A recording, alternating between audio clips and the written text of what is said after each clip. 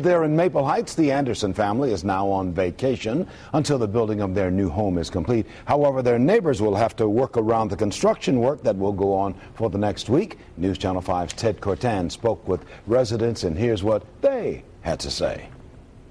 Obviously, the Extreme Makeover Home Edition project is a huge undertaking. You can just imagine all the logistics and organization involved in getting all those volunteers out here and producing that television show, not to mention the actual building of the house.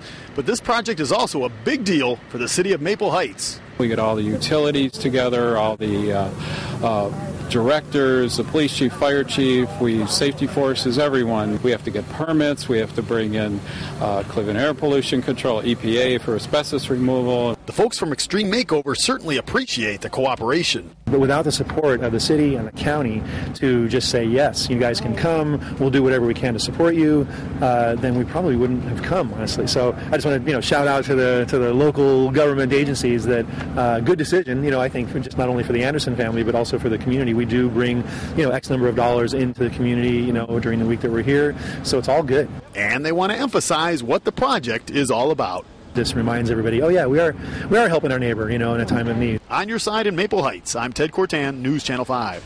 Help your neighbor. Well, builders chosen to participate in the Extreme Makeover Home Edition are chosen by the company that produces the show for ABC. In this case, Marous Brothers Construction will partner with them for the project. The builder, along with hundreds of local volunteers, will work together for a week to give the Anderson family of Maple Heights the home of their dreams.